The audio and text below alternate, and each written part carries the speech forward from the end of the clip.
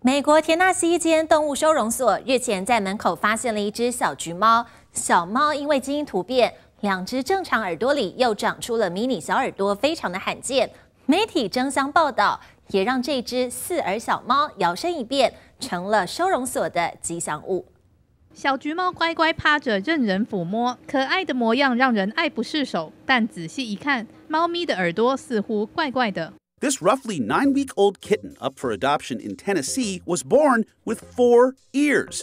拉开小猫右耳，里面竟然还藏了迷你小耳朵。原来这只小橘猫因为罕见基因突变，天生就有四只耳朵。七月底被丢弃在田纳西州一间动物收容所门口。Whenever we took him out of his carrier, my counterpart said, What's on his ear? And when we look closer, it appears as if Audio has actually four ears on his head. So he has two right facing and two rear facing. It's extremely abnormal. 自家门前出现四耳怪猫，活像小精灵。工作人员惊讶又兴奋，马上请来兽医检查。所幸小橘猫身体健康，听力正常，温驯的性格更是惹人怜爱。The inner ear will not cause any issues other than requiring more to clean.